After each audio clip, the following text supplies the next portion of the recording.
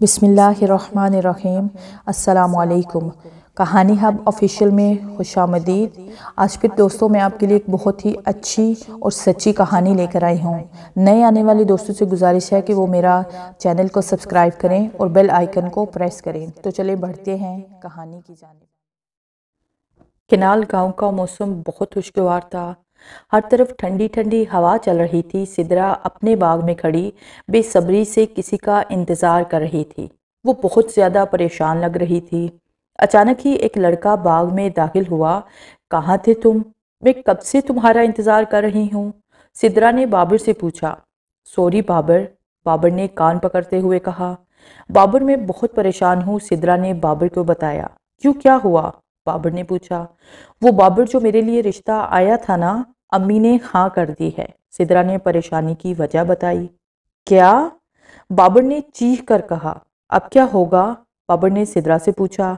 दोनों के दरमियान थोड़ी देर तक खामोशी चाई रही, फिर इसका सिर्फ़ एक ही हल है। वो क्या? सिदरा ने बेसब्री से पूछा। वो ये कि हमें घर से भाग जाना चाहिए। बाबर ने कहा। सिदरा को जैसे करंट लग गया हो। देखो सिदरा, इसके सवा हमारे पास कोई चारा नहीं। मैंने तो अपने वालदेन को तुम्हारे घर भेजा था, लेकिन तुम्हारी, लेकिन लेकिन कुछ नहीं। मैं आज रात बारह बजे तुम्हारे घर के बाहर तुम्हारा इंतज़ार करूँगा। अगर तुम ना आए तो मैं खुदकुशी कर लूँगा। ये कहकर बाबर बाग से बाहर निकल गया और सिदरा खामोश कड़ी बाबर को जाते हुए देखने लगी। रात बारह बजे बाबर सिद्रा के घर बाहर खड़ा था कि उसे दरवाज़ा खुलने की आवाज़ सुनाई दी। बाबर एक तरफ़ छुप गया। उसने सोचा कहीं सिद्रा के वालदेन ही ना हूँ। वो सिद्रा थी, उसके हाथ में एक छोटा सा बैग था। जल्दी करो सिद्रा। ये कहकर बाबर ने सिद्रा से बैग ले लिया और वो दोनों एक तरफ़ चल दिए। चाँद अपनी पूरी आबोताब से चमक रहा था, इसलिए हर चीज़ वाजे नज़र आ रही थी। चलते चलते वो एक जंगल के किनारे पहुँच गए।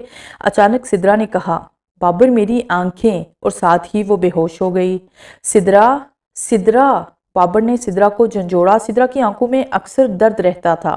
उसके वालदेन ने उसका बहुत इलाज करवाया था, लेकिन वो ठीक ना हो सकी थी। उसके वालदेन ने उसकी खातर बहुत ज़्यादा परेशानियाँ उठाई।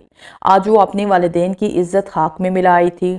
लेकिन कहते हैं ना, जो वालदेन की इज़्ज़त नहीं करते, उसकी कोई भी इज़्ज़त नहीं करता। जो वालदेन की इज़्ज़त को खाक में मिलाता है, एक दिन खुद भी खाक में मिल जाता है।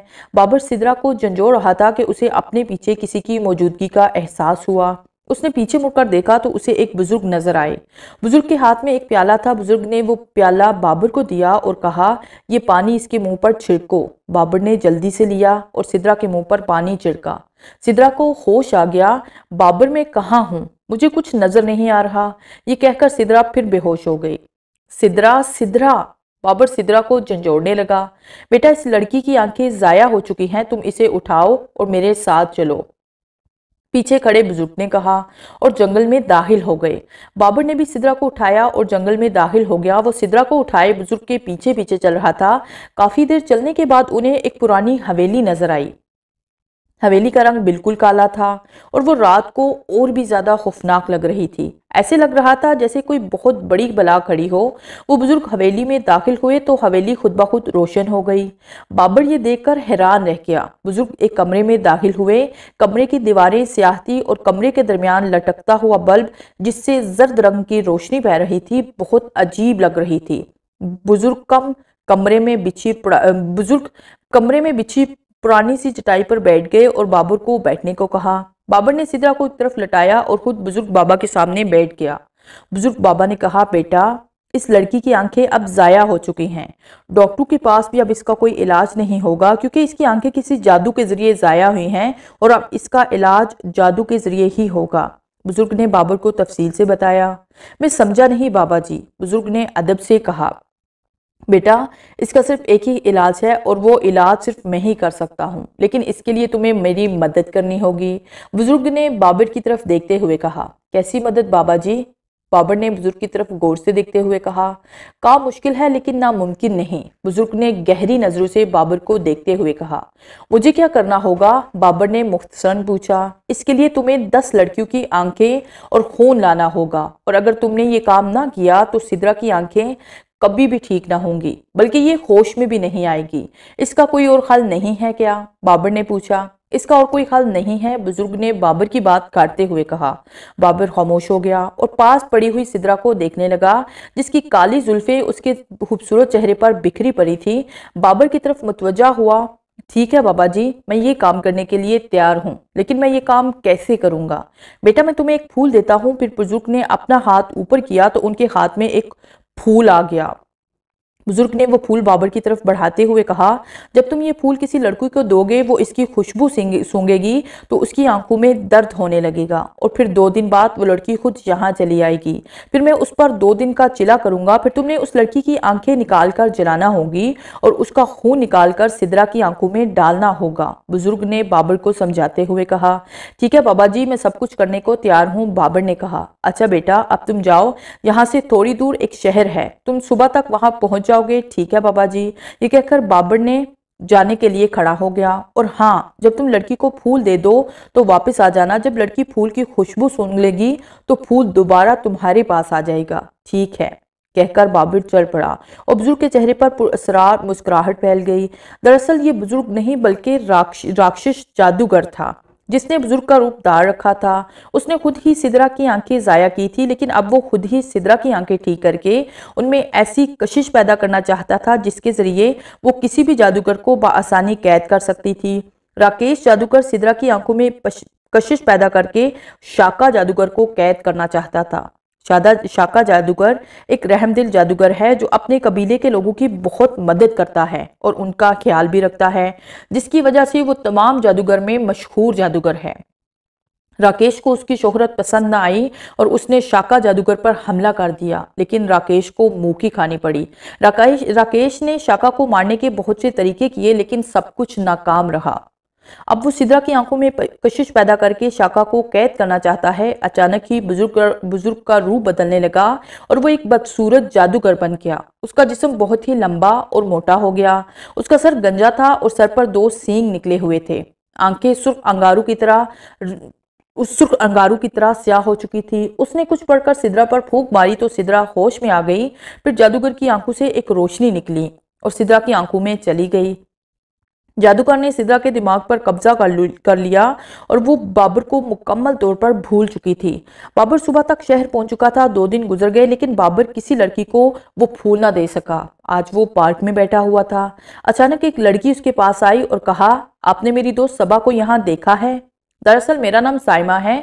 मैं और सबा रोज़ाना यहाँ आती हैं। और जिस जगह पर आ बैठे हैं। हम रोज़ाना यहाँ आकर बैठती हैं। जी जी आपकी दोस्त यहाँ आई थी। उसे कोई ज़रूरी काम पड़ गया था और वो चली गई।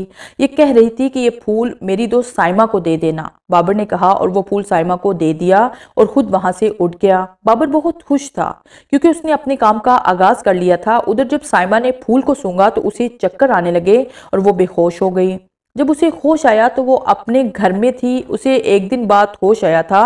होश आते ही साइमा की आँखों में दर्द होने लगा। दूसरे दिन साइमा अपने घर से गायब थी। साइमा खुद ब खुद ही उस हवेली में आ गई थी। बाबर भी वहाँ मौजूद था। बाबर ने जब साइमा को देखा तो बहुत खुश हुआ। राकेश जादूगर जो इस वक्त बुज़ुर्ग के रूप में था, उसने साइमा पर फूंक मारी तो वो बेहोश हो गई। फिर राकेश जादूगर ने उस पर दो दिन का चिला किया और बाबर को एक सलाख दी और कहा, इसकी आँखें निकालकर आग में डाल दो। बाबर ने साइबा, साइमा की आँखें निकाली और आग में डाल दी और फिर बाबर ने साइमा का खून निकालकर सिद्रा की आँखों में डाल दिया। फिर राकेश जादूगर जो बुज़ुर्ग के रूप में था, बाबर को बाहर जाने को कहा। बाबर उठकर खड़ा हो गया और शहर की तरफ़ चल पड़ा। फिर राकेश जादूगर अपनी असली हालत में आ गया और अपने लंबे लंबे नाहनों से साइमा के जिस्म से गोश्त उतार उतार कर खाने लगा। फिर दिन गुजरते गए, बाबर ने सात लड़कियों की आँखें निकालकर जला दी थी और खून सिद्रा की आँखों में डाल दिया था। आज बाबर फिर शहर की तरफ़ जाने लगा। अभी वो शहर से थोड़े फासले पर था कि उसे कुएँ पर दो लड़कियाँ पानी भरती हुई नज़र आई। दोपहर का वक्त था। उन दो लड़कियों के अलावा वहाँ पर कोई भी मौजूद नहीं था। बाबर उनके पास गया और कहने लगा, मैं मुसाफिर हूँ और शहर जा रहा हूँ। मुझे सख्त प्यास लगी है। क्या मुझे पानी मिल सकता है? बाबर ने अदाकारी करते हुए कहा, जी हाँ क्यों नहीं? अभी देती हूँ। एक लड़की ने कहा और पानी वाली मुश्क बाबर की तरफ़ कर दी। बाबर पानी पीने लगा। वो लड़की बाबर की तरफ़ गौर से देखने लगी, आपका बहुत बहुत शुक्रिया। आपका ये एहसान ज़िंदगी भर नहीं भूलूँगा। बाबर ने पानी की मश्क लड़की की तरफ़ बढ़ाते हुए कहा यह तो हमारा फ़र्ज़ था, लड़की ने मुस्कुराते हुए कहा, क्या मैं आपका नाम पूछ सकता हूँ? बाबर ने लड़की की तरफ़ देखते हुए कहा, जी, क्यों नहीं? मेरा नाम मुस्कान है और ये मेरी दोस्त सना है। फिर बाबर ने अपनी जेब से फूल निकाला, ये फूल आप रख ले, आपकी ये एहसान का बदला नहीं है, बल्कि अपने भाई का एक तोहफा ही समझ के रख लीजिए। बाबर ने फूल लड़की की तरफ़ बढ़ाते हुए कहा, शुक्रिया भाईजान। मुस्कान ने फूल लेते हुए कहा तो बाबर उनसे इजाज़त लेकर चल पड़ा। जब मुस्कान ने फूल को सूँगा तो उसको चक्कर आने लगे और वो बेहोश हो गई। उसकी दोस्त ने उसके मुँह पर पानी डाला तो वो होश में आ गई। फिर वो अपने घर चली गई। घर आकर मुस्कान की तबीयत और ज़्यादा खराब हो गई। उसकी आँखों में दर्द शुरू हो गया। वो बार बार कह रही थी कि जब मैं आँखें बंद करती हूँ तो मुझे दो सुर्ख आँखें दिखाई देती हैं, जैसे आग के शोले हों। मुस्कान के पास खड़ा रेहान भी बहुत परेशान था। मुस्कान और रेहान आपस में कज़न थे और एक दूसरे के साथ बहुत मोहब्बत करते थे और दोनों के घर भी एक साथ थे। दोनों की मंगनी हो चुकी थी, फिर रेहान के कहने पर मुस्कान को हॉस्पिटल ले गए। तो डॉक्टर ने कहा कि इसकी आँखें बिल्कुल ठीक हैं। इसकी आँखों में कोई भी तकलीफ़ नहीं है फिर सब मुस्कान को घर ले आए। मुस्कान बहुत ज़्यादा शोर कर रही थी। कभी हंसना शुरू कर देती तो कभी रोना शुरू कर जाती और कभी अपनी आँखों को पकड़कर बैठ जाती। मुस्कान के घर वाले बहुत ज़्यादा परेशान लग रहे थे। मुस्कान बार बार घर से बाहर जाना चाहती थी, वो कहती, वो मुझे बुला रहा है। फिर मुस्कान के घर वालों ने मुस्कान को एक कमरे में बंद कर दिया। जब थोड़ी देर बाद कमरा खोला गया तो मुस्कान कमरे में ना थी। सबने उसको बहुत तलाश किया, लेकिन वो ना मिली। रेहान घर के एक कोने में परेशान खड़ा था कि मुस्कान का बड़ा भाई अदनान उसके पास आया। रेहान, मुझे लगता है कि मुस्कान को कोई जिन या भूत उठाकर ले गया है। अगर ऐसा नहीं है तो वो बंद कमरे से कहाँ गायब हो सकती है? अदनान ने रेहान की बात सुनकर कहा तो वो दोनों शहर की तरफ़ रवाना हो गए। दोनों जब बुज़ुर्ग के पास गए तो वो नमाज़ पढ़ रहे थे। जब वो नमाज़ से फारग हुए तो वो रेहान और अदनान के पास आकर बैठ गए और अदनान ने तमाम बात बुज़ुर्ग को बता दी। बुज़ुर्ग ने अपनी आँखें बंद कर ली और मुँह ही मुँह में कुछ पढ़ने लगे। थोड़ी देर बाद बुज़ुर्ग ने आँखें खोली और कहा, बेटा, ये सब काम राकेश जादूगर का है और वो ये काम बाबर से करवा के उसे मार देगा। बाबर को भी वो धोखा दे रहा है और ये काम बाबर से करवा के उसे मार डालेगा। और फिर तमाम कहानी बुज़ुर्ग ने उन्हें बताई और कहा, बेटा अभी राकेश जादूगर ने मुस्कान पर चिल्ला भी करना है और वो आज रात बारह बजे चिल्ला शुरू कर देगा। बेटा, अगर तुम मुस्कान को बचाना चाहते हो तो रात बारह बजे से पहले पहले उस जादूगर को तुमने खत्म करना होगा। बुज़ुर्ग बाबा ने अपनी बात खत्म की।